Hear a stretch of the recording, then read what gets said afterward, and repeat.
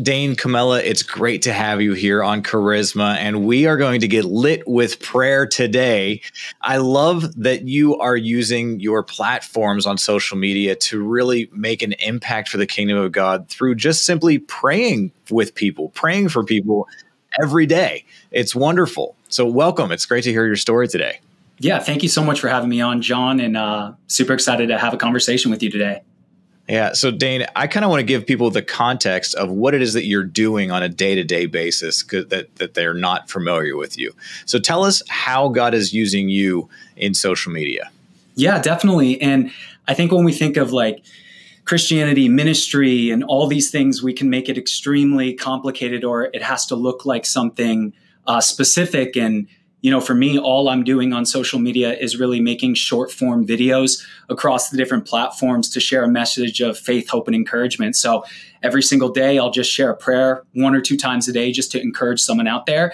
It started during the pandemic and, you know, God really put it on my heart to share my faith. And I didn't feel necessarily qualified of what that was supposed to look like but through some time with him and just asking the question well if i could share my faith what what could that look like the answer was prayer because that's really where my relationship with god started yeah, we'll we'll get, we'll get to your relationship with God in just a moment, but I kind of want to build this out a little bit more. So you are a couple times a day you're posting these short form videos, just praying.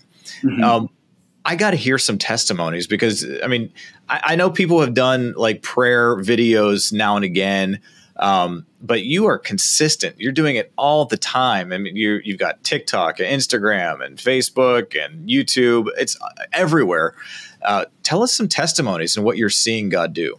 Yeah. And, you know, in the beginning, we were just reaching a couple hundred people. I didn't jump on TikTok and make a video and it went viral overnight, like how, you know, many stories occur. It was just consistently sharing a message that really meant something to me. And I found, even in the beginning, people really were encouraged because they felt like they didn't know how to pray or they had to pray mm. a certain way. And just being able to kind of partner with someone whenever they saw a video of mine to be able to come and pray with me was that first kind of testimony like, thank you so much. Like, I have been struggling in my prayer life and you've helped me understand it doesn't have to be like this or have to be like that. But I think even the bigger testimonies that I've seen now over four years is people finding Christ, people getting into mm-hmm. church because the message that I was sharing wasn't to condemn them or, you know, to say something that they're not good enough. It was just to encourage them. And we've had I don't know, hundreds of te- testimonies of people getting back into church, people rededicating their life to Christ, people coming to know Christ, as well as just people sharing their own personal testimonies. Mine has to do with mental health. And I've seen so many, or at least read stories of people saying they've been healed from this, whether it was something with their mental health or something that they were battling, whether it was an addiction or something like that. So, this simple act of just encouraging people through a simple prayer has really opened my eyes to that's something that's needed uh, today and is, I think always going to continue to be needed. Why do you think it is that people have a hard time with prayer on their own? Why do you think they need that that uh, encouragement or that example? I think people have a hard time with prayer because it is something that's so personal, right? That's how we build our personal relationship with the Lord. And because of that thought, they think it has to sound a certain way or it has to have certain words within it when at, at the simplest at least in my mind it's just talking to god. It's telling mm-hmm. him what you're going through. It's it's a relationship right? We're supposed to build a relationship with jesus. And i think some people t- sometimes overcomplicate it because they might see a video of mine or someone else's or they'll hear when they go into church people pray powerfully from stage and that's their context to what it has to be but if you just bring it back to it's your personal relationship, it's you talking to God about what you're going through, it's you thanking Him for what He's done in your life, and being able to also just pull scriptures from the Word and speak those over your life. I think a lot of the prayers that I'll do just because I'm in the Word so much is I'll speak and pray scripture over my mm. life and for the person watching, giving them the opportunity to go, hey, it's not always about the words that you have. You can simply take a scripture in God's word, pray it over your life. You could simply sit there and thank Him for the great day He's given you, right? A lot of people will talk about gratitude journals and stuff like that. I mean, we can talk to the God of the universe and thank Him for everything that He's done in our life. And we don't even have to necessarily ask Him for something if that's if, if you feel weird about that. So it's just a conversation. And I really try to make it as simple as possible for people. And then I think over time, them being able to see other people do that gives them a little bit more confidence to do it for themselves. Yeah. So just being that example for people has opened up people's expectation or maybe lowered their expectations and made it more accessible. And maybe that's yeah. a better way to put it. So, how did prayer, cultivating a, a lifestyle of prayer, uh, happen in your life?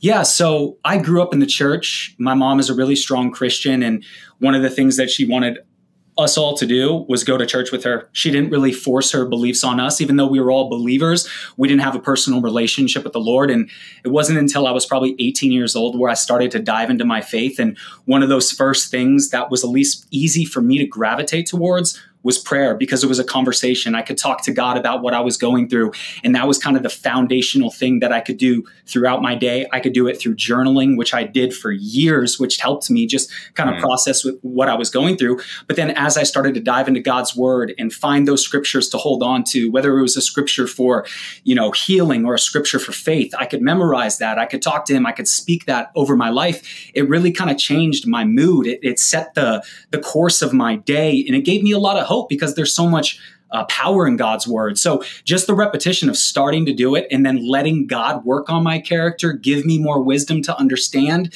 you know, what it is that He's put on my heart really has just been that thing that's never left. And that's really where it started for me. And then obviously Bible study and everything else, praise and worship came um, as a result of that too. Yeah. So I know that healing, uh, like prayer, uh, healing came through prayer in your life as well.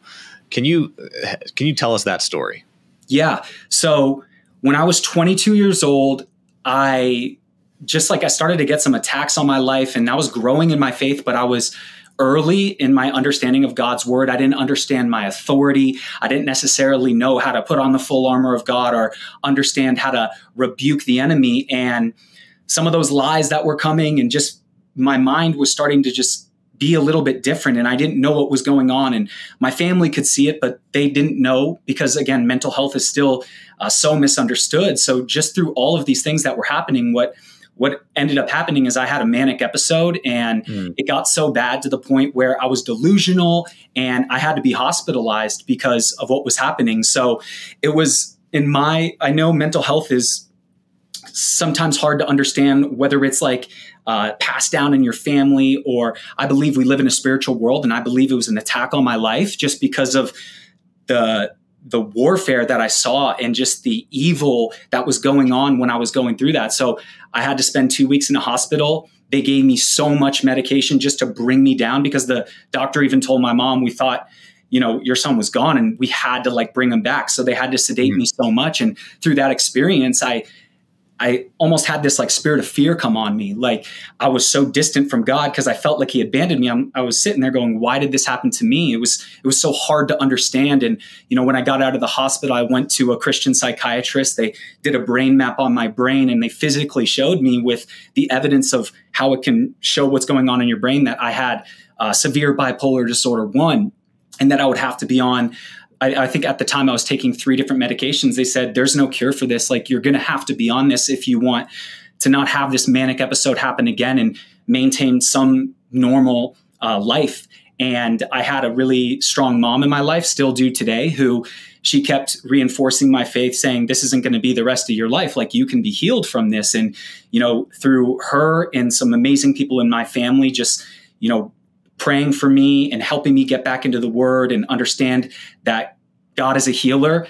I started to believe that too. I said, this isn't going to be the rest of my life. I don't know how this is going to happen, but I believe that God can heal me. And I don't think, I never really took on that identity. I think with mental health, a lot of people take on the identity of what they are, right? You are this and this is going to be the rest of your life. But I knew my identity lied in Christ and I knew there was freedom in that and freedom from something that God didn't intend for my life. And just through making that decision and continuing to pray and believe that I could be healed, we went to a church service. It was probably two or three weeks after I got the diagnosis at the psychiatrist's office. And it was a church that I started going to where my relationship started when I was 18. And they did an altar call at the end. And I still remember it like it was yesterday. My mom looked over me and she said, You should go up for prayer.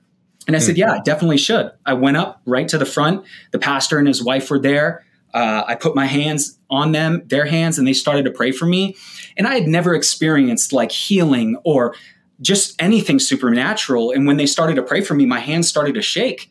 I didn't even I didn't know what was going on, and almost like I was making like a weird noise out of my mouth because I couldn't control like what was happening. I wasn't on the ground or anything like that, but I knew that God was moving right there.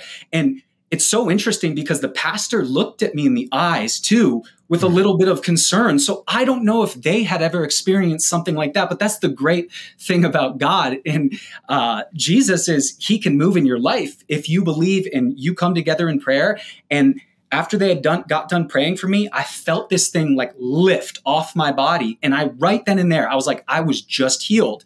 I even remember going up to the pastor after the service just to talk to him and he was a little like apprehensive to talk because he, he probably goes they probably go through so many things and he was kind of standoffish to have a conversation and quickly you know went over somewhere else but i right then and there i was like i've just been healed. Like it changed my mm. understanding. I had a strong relationship with the lord but to see god move in that way changed everything for me in terms of really believing like God's healing is for everyone and, and he can move in your life. And yes, faith is a, an important role and it was so powerful. And within two weeks, I got off all the medication and it's been over 10 years and nothing has ever happened. And wow. it would be eight years later where God would ask me to start sharing my faith. And I think his timing is always perfect. And I think the delay in asking me to start sharing my faith was just kind of going through when you're diagnosed with something and you're healed and you share that story with people, not everyone believes you. You know, mm-hmm. there are mm-hmm. people who still believe, well, no, there's no cure. Like you cannot be healed. You still have it. You've just figured a way to deal with it. So I think it took a took some time to like get through the understanding that not that I was not healed, but just to be able to share that story because shortly after starting just to share my faith, God put it on my heart to just share my testimony on a live stream one night. And it really like meant a lot to the people who were there. And just to also i think we go through different things and our testimonies give other people the opportunity to experience healing from themselves when they've never heard of someone else going through something that they've gone through. So it was um, it changed my life. It still changes my life today just by being able to share that story from a place of boldness because there's nothing that can change my mind based on what's happened and the evidence that has still stayed true over such a long period of time. Amen. Amen. Somebody that with a testimony is not at the mercy of somebody with a theory for sure. And you you have you have a powerful testimony as seeing God heal you of mental illness, which really it seems that in this day and age is a bit of an epidemic. I mean, mm-hmm. more and more people are being diagnosed with some sort of mental illness, whether it be bipolar or schizophrenia or uh, even just mild things, uh, ADHD. Like, and a lot of people are taking that on as a as an identity, mm-hmm. as a as a as a curse, maybe. Mm-hmm. You know, you are able to speak to people in a in a very personal way. I mean, it, everybody has their cell phones, and you are speaking to them through their cell phones. How is it that you are hearing from God what it is to say? Tell me about like wh- how God speaks to you about what to pray or how to lead people with this.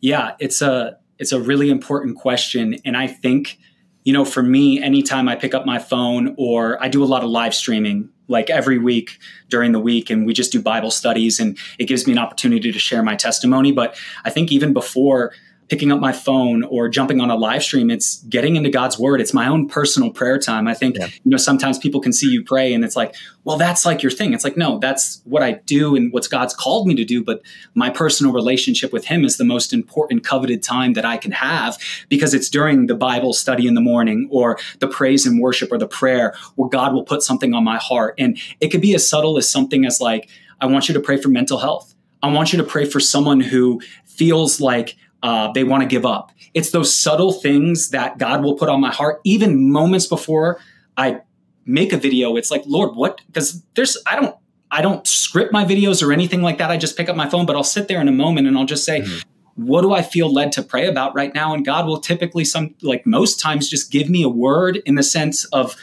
how I'm feeling, but sometimes just a word, like someone who's dealing with loss or someone who's just ridded with a lot of anxiety. Or sometimes it will come from a place of I'm feeling a certain way because I'm still human and I go through all of the ups and downs. So it's those subtle uh, little cues in regards to when I spend time with him in the morning or it's before when I'm about to pick up my phone, just asking. That's the great thing about our relationship with the Lord. We can talk to him during any moment in time and he more than not answers or is always like prompting us with something. So that's how it's been for me most of the time. Yeah. You know, I want to thank you for so much for just being willing to be vulnerable and share your prayer life with the world and how you've been able to lead people as an ex- with an example of your own life. Uh, what encouragement would you give for people that feel that God is telling them to be more open with their prayer life and to help other people? How do you how would you encourage them to just get started? Yeah, I'm so glad you asked that question because I think a testimony that I don't share as much as um, as the healings or other things that have gone on are is the conversations I've had with individuals who've reached out to me who they were inspired by my video to start praying for others as well too. And God has blessed so many of them to reach the same amount of people as me. Hmm. kids who are 10 years younger than me to people in other countries who are reaching their entire country or you know hundreds of thousands of people in the countries. Like the messages i've got from people who who were in a difficult time and then they just said hey you gave like seeing you gave me permission to say well can i share my faith in that way? And the answer was always yes because god has put a call on your life and that call is to reach certain people that i will never reach and there's a unique message to each individual. Yeah, you might have tons of people out there who are praying, which I love seeing, but we all do it in a unique way. So if God's put it on your heart to share some part of your faith, prayer is one lens to do that. Or maybe it's just sharing a scripture or something like that. I love to tell people your testimony is one of the most powerful things that you can share. It's something that no one can take away from you. And I think that's a great place to get started too for anyone who wants to just be out there. But I've gotten countless messages from people who still do it today, like years and years later, who are going on and reaching, you know, the next generation as well as thousands of people a day just by being encouraged to do what I did, not how I do it, even though we have the same message in the heart of uh, the love for the Lord and just the love for people. So it's uh, it's just I think making that decision and then really spending time in prayer with the Lord to say, is this something that you want me to do? And just taking that step of faith and trusting that He's going to, um, you know, put you in a place uh, with your heart posture to reach whoever that might be, because one person is just as important as a million. Yeah. So your example has been able to encourage a lot of other people to start just praying on their phones, praying on, on camera, and they're seeing the people that God's called them to respond the same way. That's wonderful, Dayne. That is really, really cool to see how God's doing that. And what what is the message that's on your heart today, or the, or this season? Like, what is, what is the thing that that is burning on your heart that you know? I, I see behind you. You've got this picture of you know some Monopoly uh, uh, cards or whatever and success but persistence is the one that is just kind of drawing me right now and just seeing like this persistence and not giving up i feel like there's people that are wanting to give up but that that persistence you know, holy spirit persistence is something that uh, that is that is powerful right now. Um, that's just what I'm what I'm what I'm feeling right now. But what what is it that God's speaking to you? And then I'm going to ask you to pray as well. Yeah, and I, I, appreciate you asking that question. I know you were asking me that earlier, and I had to think about it for a moment. But as we were sitting here in conversation, I think this is something so true for me too. Uh, especially when you do something that's so public and open, and you, people are always like watching, and you have to always be on. It's I go through those seasons every single year where it might be a month or two months or three months where things are extremely hard right? You just don't feel maybe even as connected to the Lord, or you just feel like you're in a little bit of a wilderness season. That happens to everyone. And I think during those times, especially when you're in those seasons, are some of the most important times because God not only refines your character, but also what's developed in you is like you said with that word and i'm so glad you brought that out is your persistence your obedience. I talk about this all the time. It's like being obedient to what god asked you to do. And even if you don't feel 100% or you have an off day just to do those things that you started doing and to not give up on those even if you maybe aren't seeing the success of what it used to be like or you know you're just being met with a little bit more resistance i think that is something that I'm constantly thinking about because I go through those seasons too. And for those individuals who might be in that season right now where they want to give up, I think it's going back to the basics of what you did when you were feeling on fire. You know, because what tends to happen when we go through these seasons is maybe we stop spending as much time in the word or maybe prayer becomes a little bit less important because you're so focused on yourself and how you're feeling when you're not focused on the one who can help you during that time so my to anyone who's watching who, who's in that season, I would just say coming going back to like what you initially were doing. Like how is your relationship with the Lord? Are you still praying? Are you still are you still on fire to get into the word? And if not, just go through the motions because we all go, go through those wilderness seasons and during those times so much of your character your endurance your persistence and those things that are required for whatever ha- whatever god has next in your life because he always has something he needs to develop you to that next level to be prepared for Amen. Amen. Would you pray for the people that have been watching? I know that that's that's what you're probably best known for. Uh, so I don't want to miss this opportunity to ask you to pray for everybody that's been watching. Definitely, of course. Heavenly Father, I just wanted to lift up each and every individual who is with us right now. And I, I, just pray for anyone who is in a season where they might feel like they're in a wilderness. And Lord, I just pray that you speak to them, give them a fresh revelation to understand that every season that this individual is going through has a seed of a blessing inside of it, even if they can't yet see it, Lord. And I just pray that you give them stamina and endurance to not focus just on themselves or how they're feeling, but to see what they can do for someone else, whether that's simply asking someone if they need prayer for anything, Lord, or if it's to just call someone up and, and ask them how they're doing, Lord. It's sometimes in those moments where you can help us be a blessing to someone else, even when we're going through something super difficult. Lord, I pray for anyone who is struggling with anxiety, worry, fear, any mental health challenge right now, Lord. And I speak against those things and tell them to go in the name of Jesus, Lord. Uh, where your spirit is, Lord, there is freedom and your word says who the son sets free is free indeed lord. And we just we pray freedom for someone who does who feels in bondage lord. We pray for someone who feels chains of addiction and we pray for you to break those lord. You have so much power lord as we spend time in your presence. And i i pray that they are called to your presence lord. I pray that they are called to spend time with you to lift their hands up and just to surrender things that they've been holding on to lord. Whether it's guilt condemnation shame lord you heal all. And i just pray that you help this person understand that lord Lord. Help bring great people into their life, Lord, so they can be filled with others to carry that burden with, Lord, because we are not to do this alone. You are always with us, but you also have great people in store for us too. So I just pray for each individual, Lord. I pray for fresh revelation. I pray for healing from the top of their head to the bottom of their feet, Lord, and for wisdom to do what you've called them to do, Lord, in a way that always pleases you and impacts anyone you put in their life. In Jesus' name, amen. Amen. Amen. Dayne Kamela, thank you so much for taking the time to join us uh, on Charisma. Of course. Thanks for having me.